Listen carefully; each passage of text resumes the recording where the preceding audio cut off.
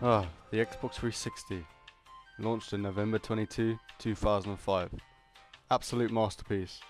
This console was something on its own. IGN, 11 out of 10.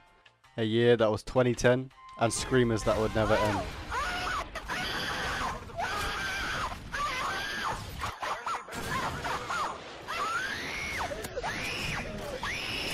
Then right around the corner, the Xbox 360 reset glitch hack. Felix Domke. I'm not sure if I pronounced that correctly.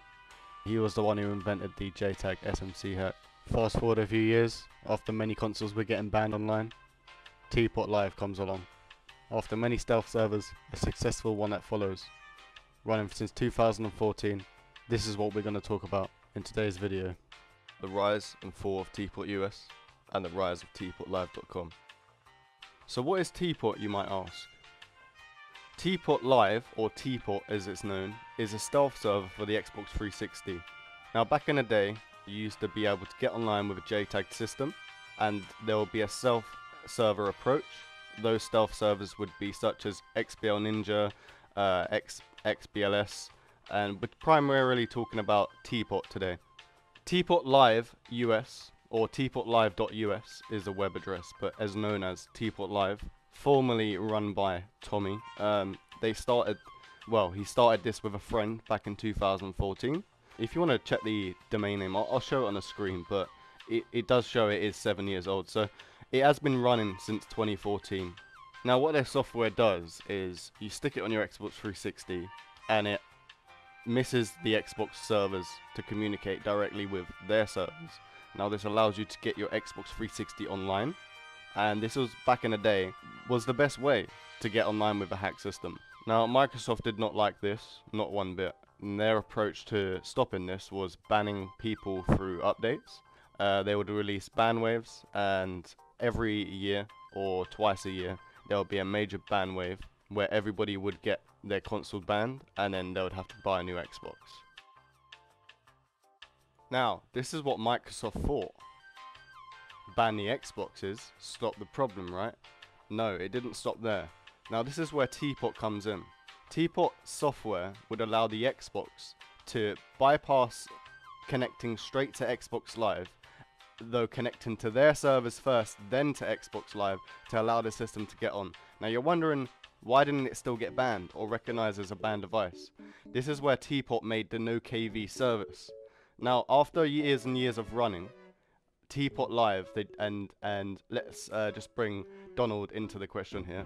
Donald is now the owner of what we're going to talk about soon into this video.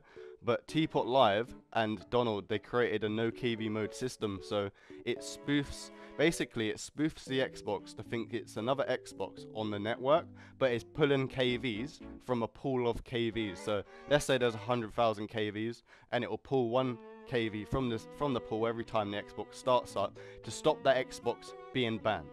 Now this is the reason why this is such a long-lasting service, and it has been around since 2014. It has been running for seven years. Now the the reason why we want to talk about this video, and I'm going to go into it quite in depth because Tommy, the owner of Teapot Live, has been doing a lot of bad things behind the scenes a lot of bad bad things on the back end side of things, and he's he's been doing a lot of drugs. So you guys are gonna, it will give you some information of what's happening, and yeah, guys, do not do drugs.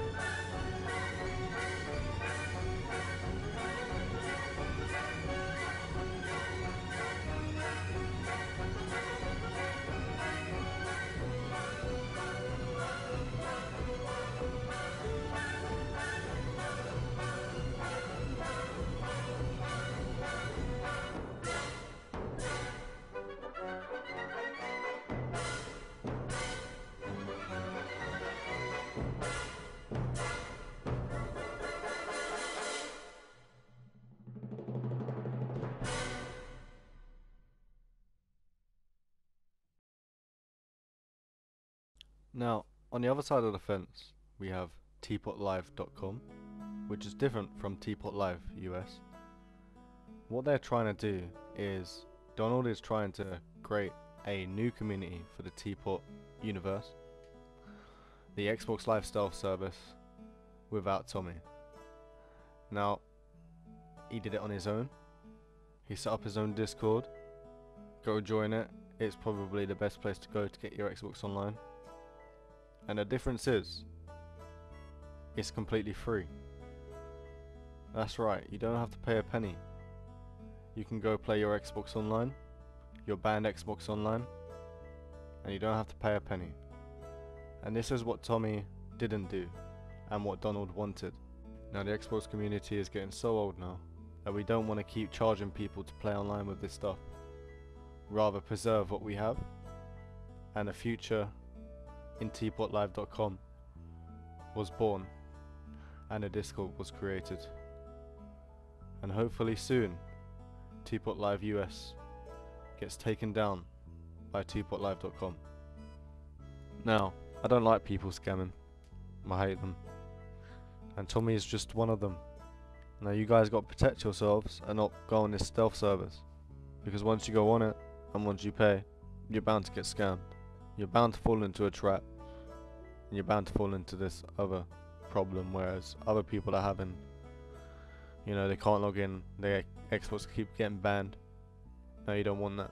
Stay away from this server. I hope you have a nice day. Final out.